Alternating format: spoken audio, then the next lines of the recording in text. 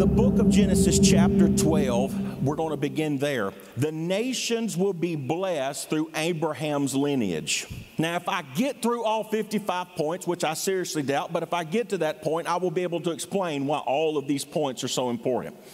But the, but the first prophecy regarding Messiah was that the nations of the world would be blessed through Abraham's lineage. Now, this is the way we're going to do this I'm going to give the prophecy and then I'm going to give the fulfillment with, with the point of that prophecy. Is everybody with me? So I'm, I'm going to give the point, I'm going to give the prophecy, and then I'm going, to, I'm going to give you book, chapter, and verse of fulfillment. Number one, the nations of the world will be blessed through Abraham's lineage. The prophecy of that is found in Genesis chapter 12 and verse 3. This is what the Bible says I will bless those who bless you, and whoever curses you, I will curse, and all peoples on the earth will be blessed through you. So there's a prophecy regarding a promise of blessing through the lineage of Abraham. The fulfillment of that is found in Acts chapter 3, verses 25 and 26. And you are heirs of the prophets and of the covenant God made with, with your fathers. He said to Abraham, Through your offspring, all peoples on earth will be blessed. When God raised up his servant, he sent him first to you to bless you by turning each of you from your wicked ways. Acts chapter 3, verses 25 and 26. Again, the prophecy to Abraham was the nations of the world shall be blessed through your lineage, and that came to pass in Acts chapter 3. Is everybody with me? Prophecy number two God's covenant would be with Isaac's ancestors. Isaac specifically. This is what the prophecy says in Genesis 17 and 19. Then God said, Yes, but your wife Sarah shall bear you a son, and you will call his name Isaac. I will establish, notice now, I will establish my covenant with him, not Ishmael. I will establish my covenant with him as an everlasting covenant for his descendants that come after him. Genesis chapter 17 and verse 19. The fulfillment of that is found in Romans chapter 9 and verse 7 nor because they are his descendants are they all Abraham's children, but rather on the contrary, it is through Isaac that your offspring will be reckoned. So the, so the reconciliation or, or the reckoning or the reuniting of the peoples of the earth would, would come through the offspring of Isaac specifically and not Ishmael. Prophecy number three the nations will be blessed through Jacob's offspring. Notice there's a prophecy to Abraham, there, there's a prophecy to Isaac, and now there's a prophecy to who? To Jacob, to Israel. This is what the scripture says in, in Genesis 28 and 14. Your descendants will be like the dust of the earth and you will spread out to the west and to the east and to the north and to the south. All peoples on earth will be blessed through you and through your offspring. Genesis 28 and 14. The fulfillment of that, uniquely enough, is found specifically in the lineage of Jesus. Now, I've, I've shared this before, but I want to stop and teach here. The reason why the book of Numbers is so important to the life of a Jew or to one who was Hebrew was they wanted to ensure that their lineage went all the way back to Abraham through Noah. The Bible says regarding the days of Noah, whenever the flood came, it said that Noah was found to be righteous in his generations. That did not mean that he was that he was perfect or sinless. It meant that his genetic coding had not been tampered with. Genesis chapter 6. And so whenever the, to the to the Jew, to the Hebrew, whenever they go back and they look at their lineage, they trace their lineage all the way back through to Noah to Abraham. Is everybody with me? All the way back through. Why? Because they are validating who they are in their lineage and in their ancestry. This is why, in the genealogy of Jesus, it is so important for us to understand that Luke chapter 3 is critical to validating who Jesus is. Is everybody with me? Right? So, Jacob is a part of, Je- of Jesus' genealogy. Luke chapter 3 and verse 34. The, and the son of Jacob, the son of Isaac, the son of Abraham, the son of Terah, the son of Nahor. So Jesus' lineage goes all the way back through. And notice now, say it with me three blessings. You have three blessings. You have the blessing on Abraham, the blessing on Isaac, and the blessing on Jacob. And notice now, there was a prophetic de- decree placed over every one of them in succession all the way down to Jesus. This is why we can't just know about our Bible, we got to know our Bible. Is everybody with me? Bible prophecy is important. So it was a fulfillment of the promise of God in Genesis regarding the genealogy of Jesus found in Luke chapter 3 and in verse 34. Interesting, isn't it? Now, I understand that tonight is a little bit different, and I'm not running and slinging oil and snotting everywhere. But I'm trying to challenge us, friends, because in, in, the day and age in which that we live, we need to know the Bible, specifically prophecy, because it is, it is very critical. No, number four, the scepter will come from Judah. Say authority. The authority of Messiah shall come from Judah.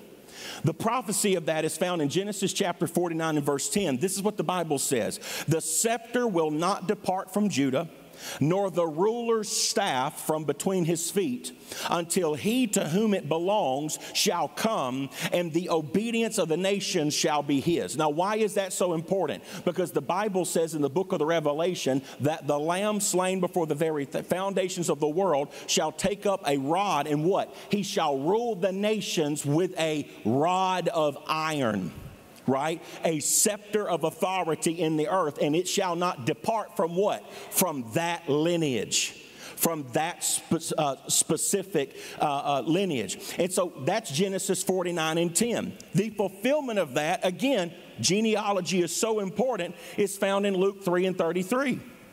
This is what the Bible says regarding Judah being a part of Jesus' uh, genealogy. And the son of Abinadab, the son of Ram, the son of Hezron, the son of Perez, the son of Judah.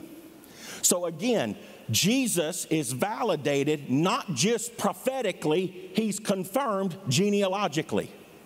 So it's not just somebody claiming to be somebody because a few factors might line up. Well, I'm from the tribe of Judah, or, you know, or, or from this lineage, or, or from that. Friends, all of this lines up genealogically for Jesus.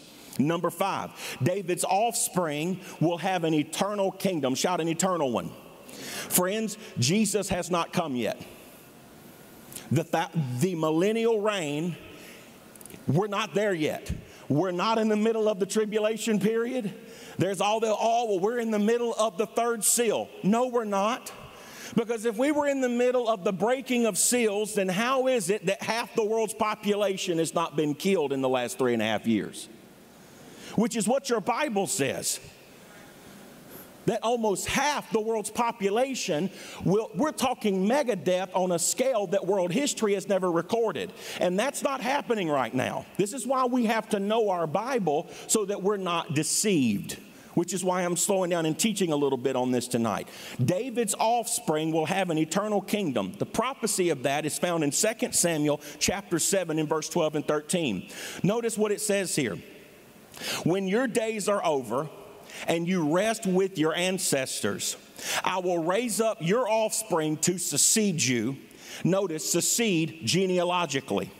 Your own flesh and blood. It's not just about succession, it's of the same lineage, of your own flesh and blood, and I will establish his kingdom. He is the one who will build a house for my name, and I will establish the throne of his kingdom. Notice now, forever.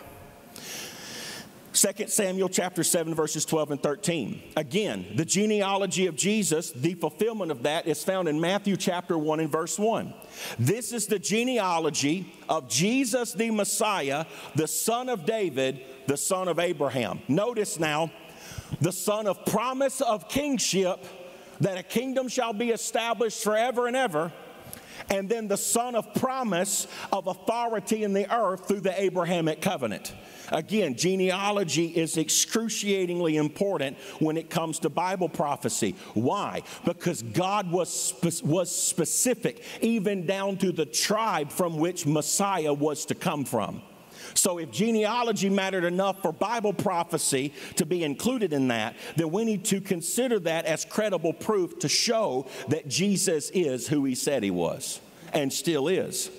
Moving forward, point number six a virgin shall give birth, and he will call his name Emmanuel, God with us.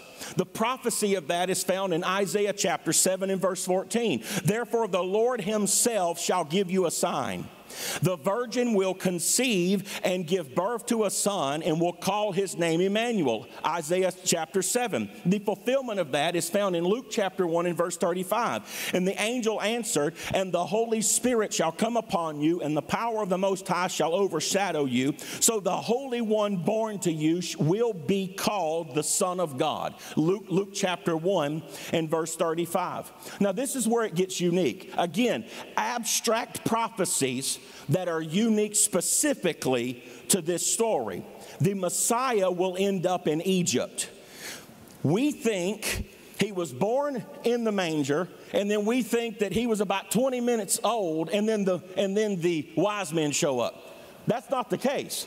Jesus had to have been at least a year and a half to two years of age whenever the wise men showed up, because what, what happened? The king got mad and said, When did you see this star? And they gave a potential timeline. After he realized that the wise men had deceived him and didn't come back and tell him where this Messiah was, he ordered everybody, all the children, what? And under to be killed. So Jesus was not, eh, wise men show up. Right? And so there was a fleeing. Isn't it unique though? The wise men show up, and what do they bring? They, they bring gifts, one of which was gold. And then what happens? He flees to Egypt. Why? Because God supernaturally sent resources to ensure that his son and the family was going to be taken care of in Egypt so, so they had resources to hide themselves. God always out, outthinks the enemy, right? Moving forward, the Messiah shall wind up in Egypt. Hosea prophesied that in Hosea 11 and verse 1. When Israel was a child, I loved him, and out of Egypt, notice now, I called my son.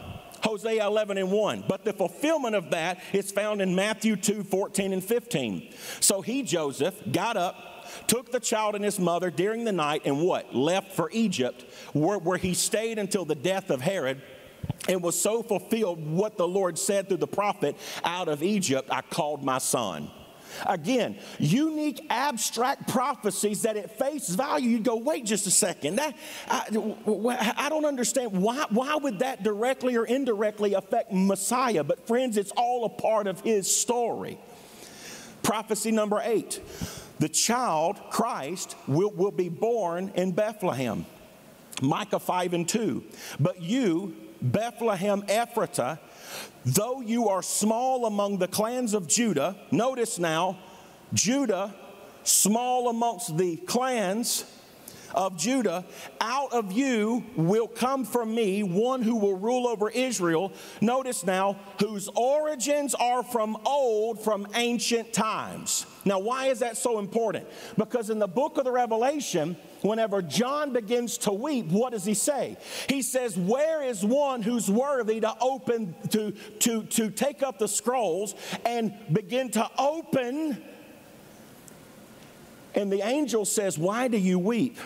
For behold, there is a lamb, the lamb slain before the very foundations of the world. So you take that in context to this passage of scripture. What does it say? It says, whose origins are from old, from ancient times. Now, Micah, this is a this is probably a 3,500 to 4,000 year old prophecy from where we stand right now. And Micah was told that the one that's going to come forth is from old. So this would this was a statement of prophetic future based off of an unknown prophetic past. Is everybody with me? But then this is where the scripture is fulfilled. When, when, he had called together all, the, all of the people's chief priests and teachers of the law, he asked them where the Messiah would be born in Bethlehem in Judah.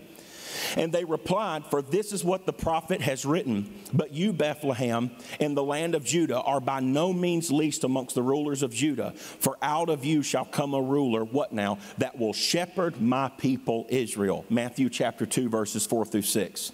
Again, supernatural prophecy, supernatural fulfillment. Number nine, Christ's ministry will destroy the devil's work the, the ministry of Messiah would have the power to destroy the works of the enemy. A, kind of a unique thing. Amongst rabbinical teaching, it was recorded that there were only certain miracles that Messiah could perform. One specific miracle was to cast the devil out of a deaf, mute person. Because according to demonology and exorcism teachings amongst the, the priesthood, that a person had to be able to communicate, and so that the wicked spirit could communicate through them and so that the exorcist could take authority over the name of the demon and cast it out. This is the reason why, when Jesus interacts with the man of Gadara, what does Jesus say? What is your name? And the demoniac re- responds and says, Legion, for we are what? We are many. One of the rabbinical teachings regarding Messiah that would separate the supernatural power of Messiah from your normal priest who casts demons out of people. You have to understand that Jesus casting devils out was nothing new. Demonic possession didn't magically manifest whenever Jesus began to walk in ministry in the earth. Again, we have to look at things properly. Jesus came to, to destroy the work of the devil. Genesis 3 and 15. And I will put enmity between you and the woman, and between your offspring and hers, will, and he will crush your head, and you will strike at his heel. Genesis 3 and 15. But the fulfillment of that is found in 1 John chapter 3 and verse 8. The one who does what is sinful is of the devil, because the devil has been what? Has been sinning from the beginning.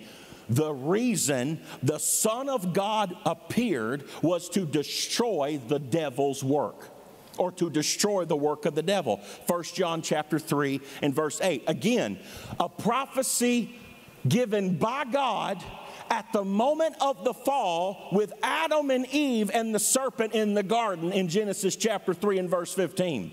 We fast forward all the way to 1 John chapter 3, and John says the reason that Jesus stepped into the earth was to destroy the works of the devil. What? Fulfilling the prophecy of the Father. Soon shall come a man from a woman's seed. You shall strike at his heel, but he shall bust your head. Again, prophecy, manifestation. Number 10, I know y'all like, we got 55 to go. I ain't gonna cover all of them. I'm just teaching. Is that all right? I'm just teaching. Jesus will have a sinless, blemish free life and ministry. Exodus chapter 12 and verse 5. The animals you choose must be year old males without de- defect, and you may take them from the sheep or the goats. Exodus 12 and 5. Hebrews 9 and 14, this is what it says How much more then will the blood of Christ, who through the eternal Spirit offered himself, what now, unblemished unto God, cleanse our consciences from the acts that led to death, so that we may serve the living God? Again, a sinless ministry, a sinless life, a sinless death. Jesus had to be perfect. This is the reason why the Immaculate Conception had to take place. He could not be born from a fallen soul in a body and a fallen soul in a body of the consummation of two fallen people. He had to be born from a virgin womb by the power of the Holy Ghost supernaturally. And I'm going to take it a step further. In Genesis chapter 3 and verse 15, God is not just discussing the destruction of Satan, He's also referencing to the virgin birth because of what does the text say? And soon shall come a man from a woman's seed. You look at your scripture, the seed of Abraham, the seed of Isaac, the seed of Jacob, the seed of Jesse, the, the, the, seed of David. There is never in your Bible a record of a seed from a woman because a woman doesn't bear a seed. The man, through procreation, bears seed, the woman bears the womb. So people who say, well, the virgin birth, that whole teaching is a New Testament theology. No, it's not, because according to the very words of God Himself in the garden, there was going to come a man from a woman's seed that the enemy would strike at his heel, but he would have the power to crush his head. Bible prophecy. This is why we've got to know these things. This is why I'm slowing down and teaching a little bit. Anybody learning anything tonight? right? Am I challenging you? Number 11, the, the Messiah will be humbled in order to serve mankind. Psalm 8, verses 5 and 6. You have made them a little lower than the angels and crowned them with glory and honor. You made them rulers over the works of your hands. You put everything under their feet. Fulfillment. Hebrews 2, verses 5 and 9. It is not the angels that he was subjected the world to, to come about which we are speaking. But there is a place where someone has testified, What is mankind that thou art mindful of them, or a son of a man that you care for him? For you've made them a little lower than the angels. You crowned them with glory and honor. You've put everything under their feet. In putting everything under them, God left nothing that is not subject to them. Yet, at present, we do not see everything subject to them, but we do see Jesus. Lord, have mercy. We don't see everything, but we do see Jesus, who, who was made lower than the angels for a little while, now crowned with glory and honor because he suffered death so that by the grace of God he might taste death for everybody. Again, what is man that thou art mindful of him, nor the, the Son of Man that you would pay him any mind? For thou hast created him and made him a little lower than the angels and yet made everything subject to him. Friends, the death of Jesus was temporary because Jesus is not was, he is and always shall be is in the present tense. Again, he was created to be humbled to serve mankind. Again, the Bible says in the book of Hebrews, it says that this is the way that it says it. It says that we have not a high priest who has not been touched with, with the feelings of our infirmities. For in like likewise and in all manners was he tested and yet found without sin. Let me just break it down for you. How can someone mediate for you if they don't understand you?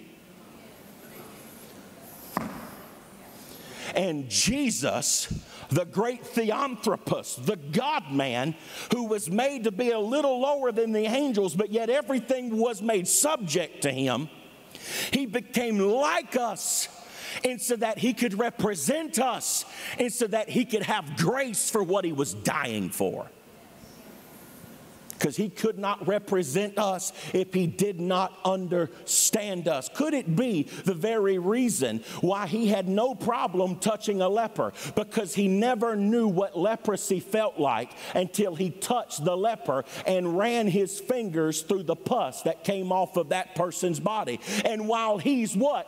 Being touched with the feelings of our fleshly infirmities, the man he's now touched has been healed. That, that's good, isn't it? That he that was made a little lower than the angels has now been put in a place where everything is subject to him.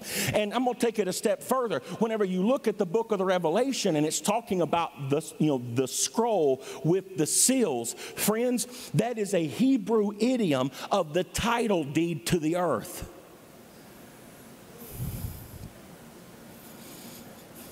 That's why John said he recognized it.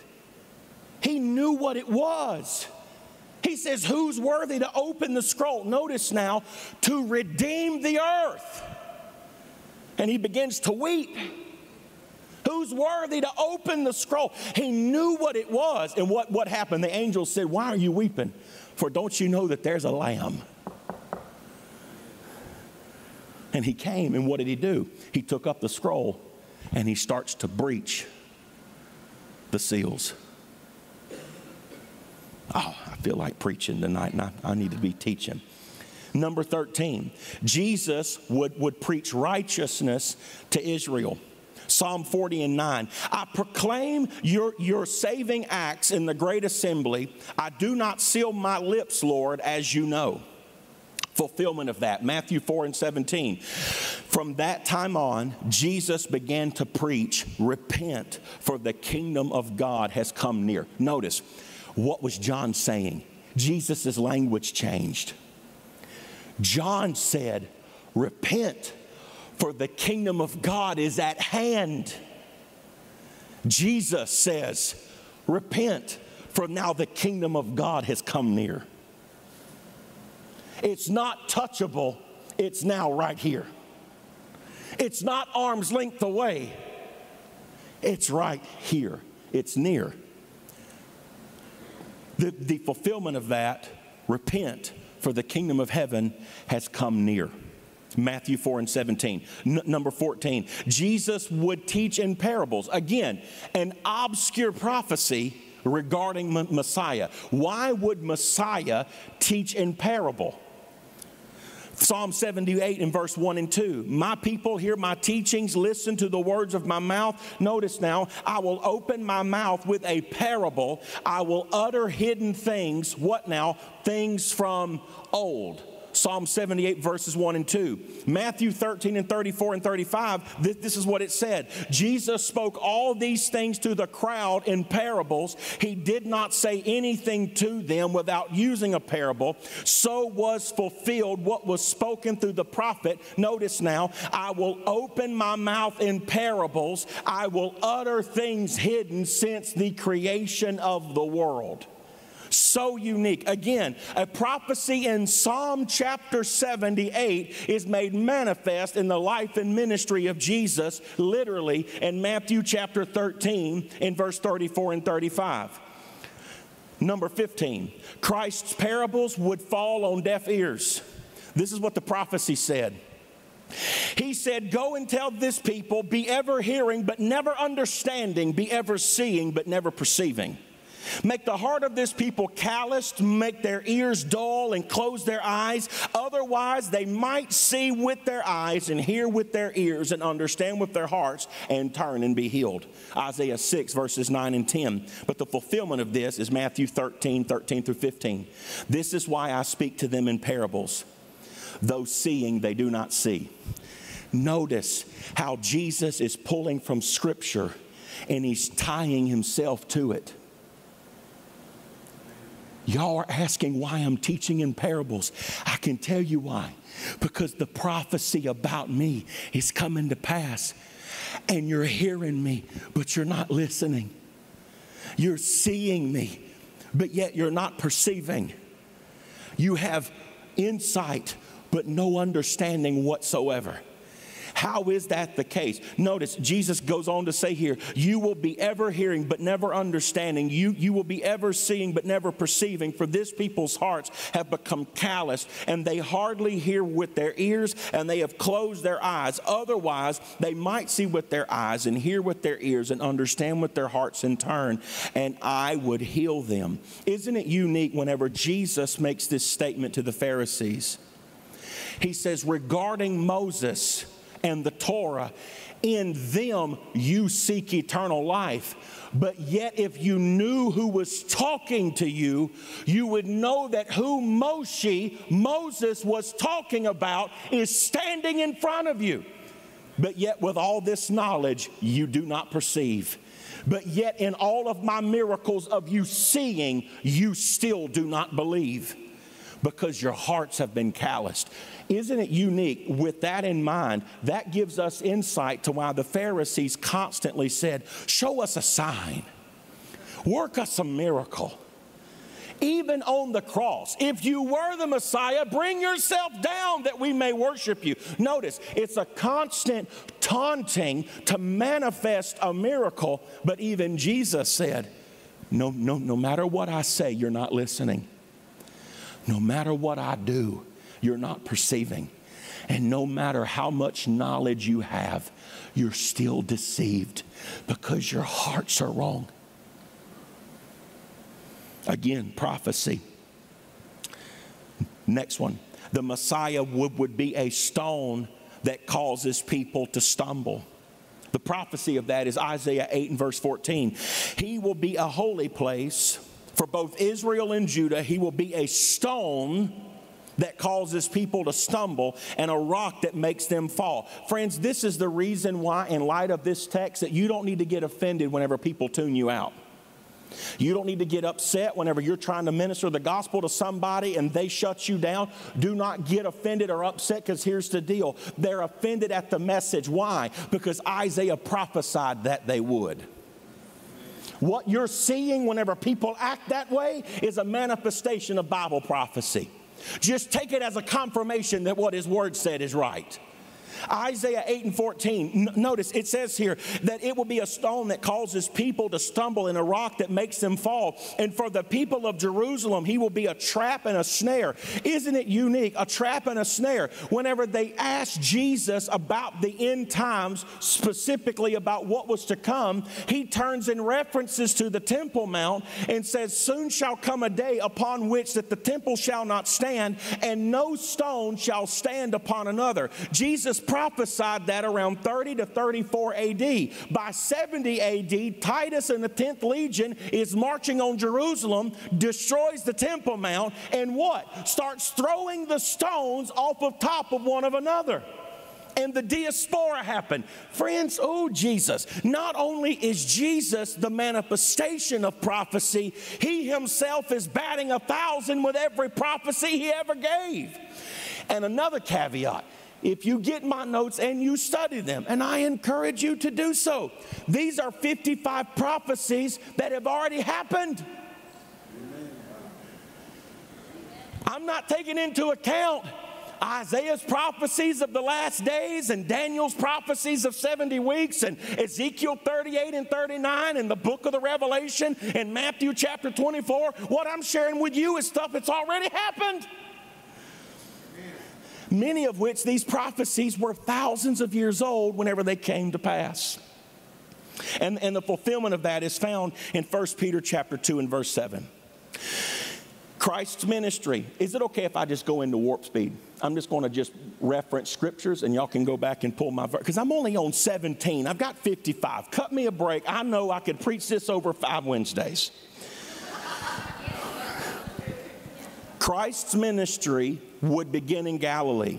That was prophesied in Isaiah 9. It was manifested in Matthew chapter 4. Verse 18, or uh, the 18th one. Jesus would draw Gentiles unto himself. Isaiah chapter 11, verse 10. The manifestation of that was in John chapter 12, verses 18 to 21. 19th prophecy that Jesus would have a miraculous ministry Isaiah 35, verses 5 and 6. And the fulfillment of that was in Matthew chapter 2 and verse, verses 2 through 6. M- Matthew 11, verses 2 through 6. The 20th prophecy that the Messiah would be preceded by a forerunner. Again, an obscure prophecy, but that is who John the Baptist was. That there shall be a forerunner. Isaiah 40, verses, 30, verses 3 and 4. The, the fulfillment of that was John 1, verses 20, verse 23 the 21st, the 21st prophecy Jesus will, will be a gentle redeemer of the Gentiles. That was a prophecy found in Isaiah 42. The fulfillment of that is in Matthew chapter 12, verses 15 through 21. The 22nd prophecy was that Jesus would be despised and rejected, Isaiah 53 and 3. The fulfillment of that was Luke chapter 4, verses 28 and 29. 23, Jesus will set the captive free, Isaiah 61 and verse 1. The fulfillment of that is found in Luke chapter 4, verses 16 to 21. 24th prophecy the, the Messiah will have a throne that is everlasting. Daniel chapter 7, verses 13 and 14. The fulfillment of that is found in Luke chapter 1, verses 31 to 33. Is everybody m- moving with me here?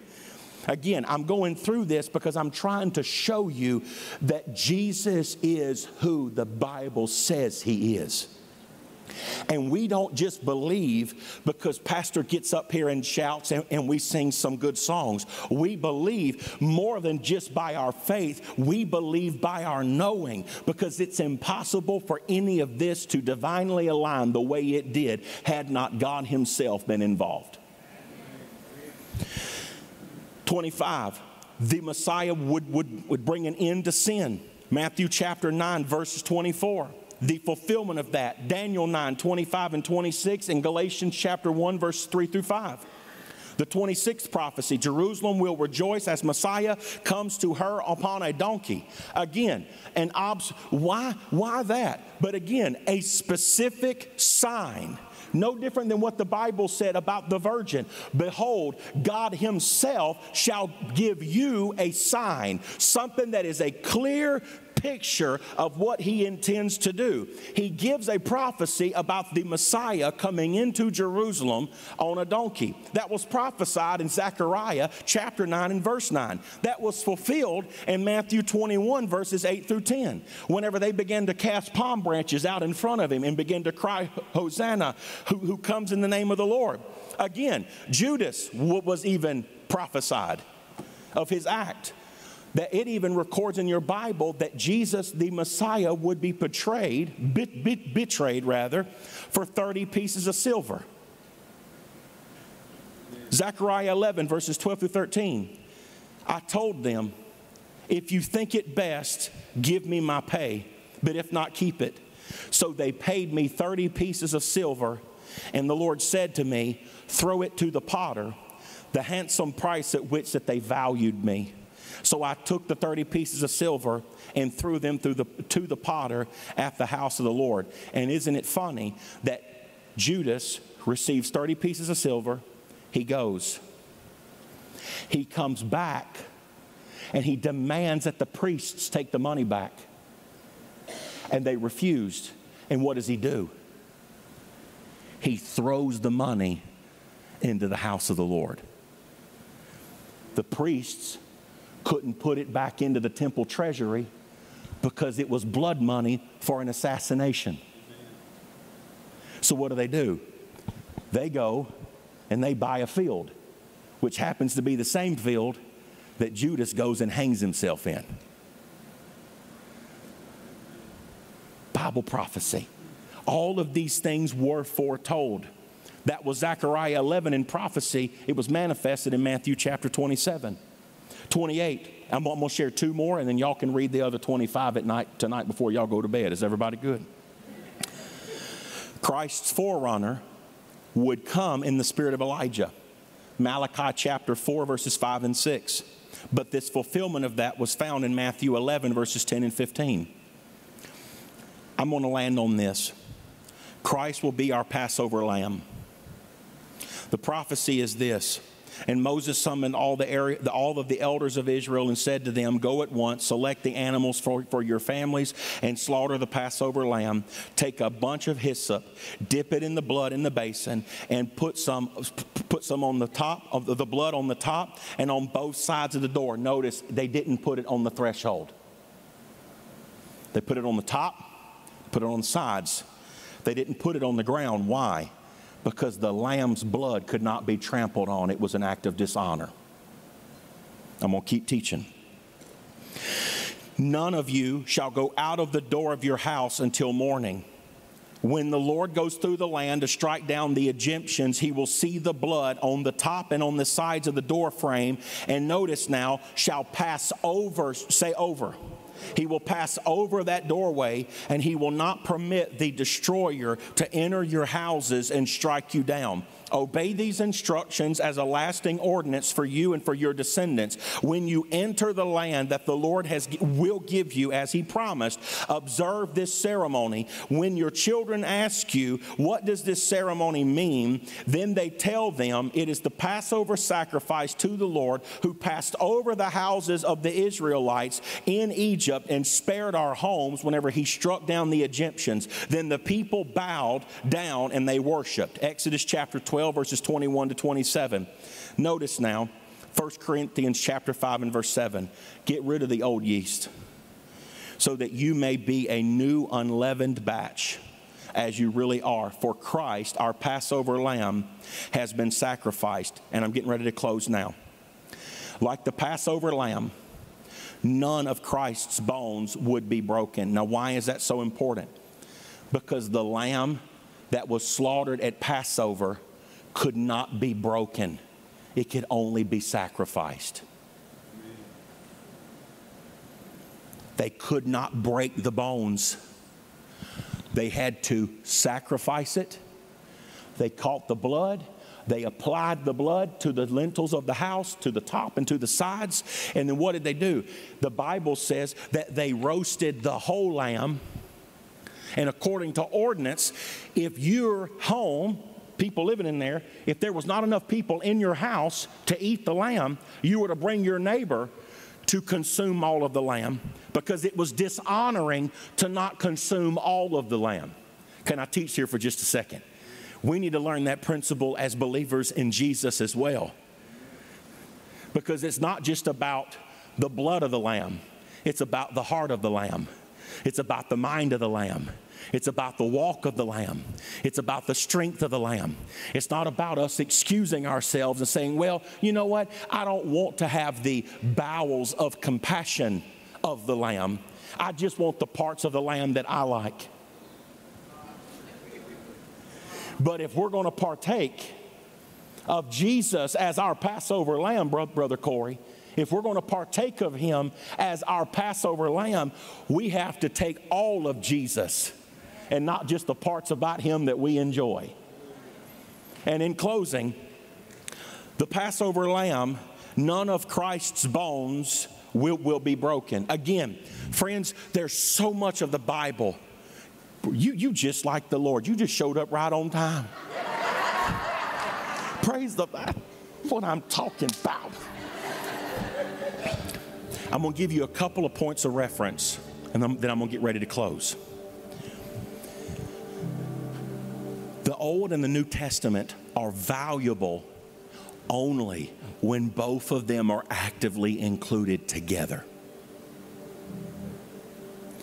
We, we cannot say, well, we are New Testament believers. Wait just a second. You understand that the new exists, first of all, because there was an old one.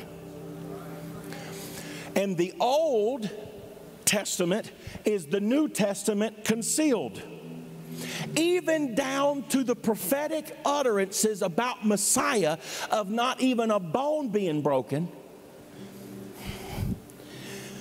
Even to the prophecy of Messiah dying on a tree, that prophecy was delivered almost 1800 years before the Romans ever even came up with the idea of crucifixion.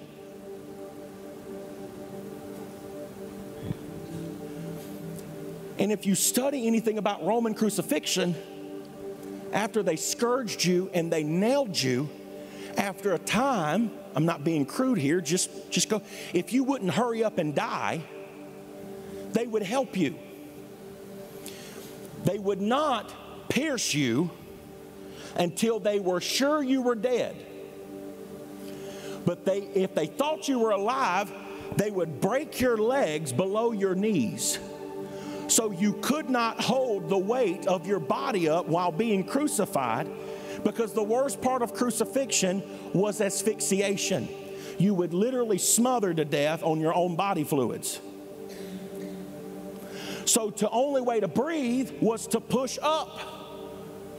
So the soldiers would take clubs and break your legs where you couldn't do that. Jesus is on the cross and they assume he's dead, but they didn't break his legs, they pierced his side. That prophecy goes all the way back to Exodus chapter 12. It must be eaten inside the house. Take none of the meat outside of the house. Do not break any of the bones. That's Bible. Again, type and shadow. It was a foreshadowing of things to come. I get so excited about this kind of stuff, I can throw my pulpit and just take off running and grab a banner and start throwing oil and shouting. I'm getting ready to close, I promise. Now, it was the day of preparation. The next day was the special Sabbath, middle of the week, a Wednesday, because the Jewish leaders did not want the bodies left on the cross during the Sabbath or a high Sabbath. They asked Pilate, notice now, to have the legs broken and the bodies taken down. The soldiers therefore came and broke the legs of the first man who had been crucified with Jesus, and then those on, of the other. So each side but when they came to Jesus and found he was already dead, they didn't break his legs. Friends, they didn't break his legs because God said they wouldn't. They didn't break his legs. Instead, one of the soldiers pierced Jesus' side with, a spear, bringing a sudden flow of what? Of blood and water. And the man who saw it has given, has given testimony, and his testimony is true. He knows that, that he tells the truth and he testifies so, so that you may also believe. These things happen, notice now, so the scripture would be fulfilled. According to Exodus chapter 12, not one of his bones shall be broken. Oh, that ought to make you shout and want to run and now, friends, why is all of that important? Because Jesus is our Passover lamb. That's just 30 prophecies out of 55 in this resource that I encourage you to go and read and study on because that's 55 prophecies that have already happened, which tells me that guess what? The Father and the righteous Lamb of God is batting a thousand when it comes to Bible prophecy. And there's other things that the scripture prophesied that are forthcoming. They foretold things. Why? As a foreshadowing, even to the place of detail that our Passover lamb would not even have his legs broke.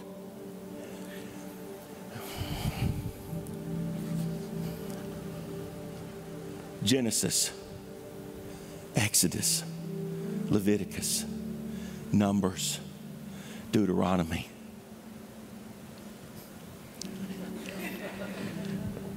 Genesis. A man shall come from a woman's seed. You shall strike his heel, but he will bust your head. Matthew chapter 1.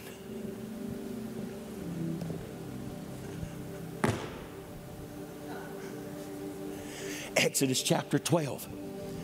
Death is coming and judgment's coming. And the only way for the judgment of God to pass over is if the blood of the lamb is applied and you consume the sacrifice, that the lamb may be in you. Exodus chapter 12. Thou shalt take it into thy house and consume it therein in thy dwelling. Thou shalt not bring it forth out from thy door, but remain in the house. Thou shalt consume all of the lamb ensure that you do not break a bone. An obscure, weird instruction. But it was telling of Messiah when he hung on the cross, Frank Pilcher and he died for our sins as our Passover lamb. And the Lamb of God was, sus- was suspended between heaven and earth, and his precious blood was spilt into the earth to the point that what was prophesied in Exodus chapter 12 had to come to pass in Matthew chapter 24 to 27 that even the bones of the lamb would not be broken. Based off of an instruction in Exodus chapter 12 as a precursor to a future history norm of how the Roman Empire would execute people.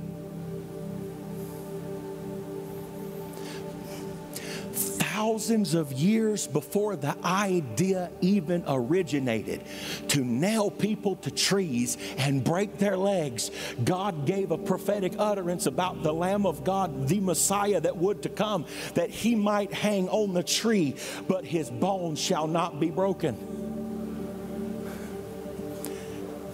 That's like trying to fit the ocean in a bucket. But that's just one, Dr. Todd, that, that's just one sliver of the tapestry of the prophecies of Messiah. But God cared so much about details that He said, according to what I've instructed you, is what will come to pass. And the lamb that was there at Passover in Exodus chapter 10 to 15 will be the same lamb that hangs on the tree, but the same standard still applies. His bones shall not be broken, and he shall be fully consumed. His bones shall not be broken, and he shall be fully consumed. And don't you find it unique that it was Jesus who sat with his disciples? I'm running out of time. I'm just overflowing. He sits with his disciples, and what does he say? This is the cup, the blood of the covenant. When you drink this, do this and remember, this is my body.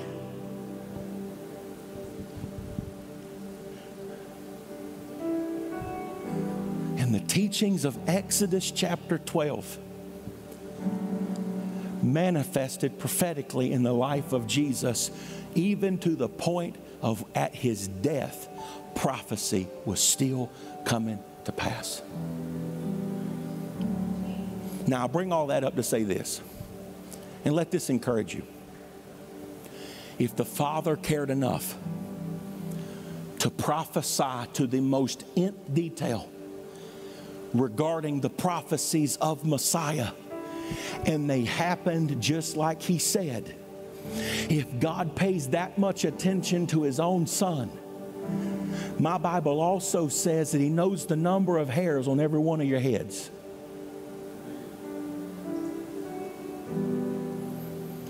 If He paid that much attention to Jesus and made it happen, don't count Him out when it comes to what He's prophesied over your life and over your children and over your marriage and over your home and over your body. Because, friends, even when it looked like Jesus lost, what the world called a loss was his greatest victory.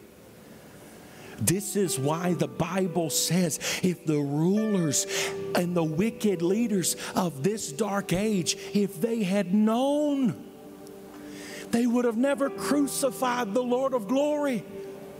Because what they thought they were doing was stopping Jesus. They were actually releasing prophetic destiny in Jesus because the Son of God was now able to be born as a Son of Man. But as the Son of God could die in our place, that we, as sons and daughters of men, would have the opportunity to partake of our Passover lamb just as they did in Egypt in Exodus chapter 12 and receive the blood of the lamb on our life that the judgment and the death judgment of God would pass over us and then we would partake and consume the lamb that we might become like him.